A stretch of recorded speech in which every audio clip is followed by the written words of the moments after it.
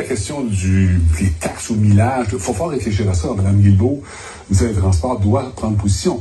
Le gouvernement doit faire des gestes pour encourager le transport collectif.